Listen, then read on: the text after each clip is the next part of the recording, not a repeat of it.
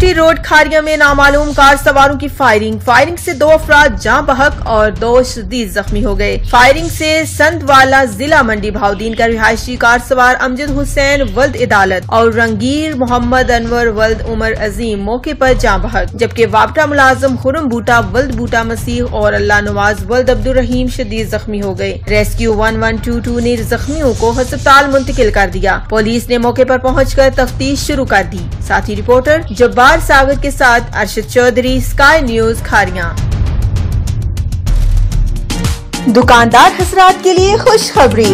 गाड़ी के मालिक बने अब सिर्फ़ पाँच सौ तिरासी रूपए रोज़ाना पर। पाकिस्तानी और जापानी तमाम मॉडल की गाड़ियाँ नकद और आसानी के साथ पर S A motors and instalment centre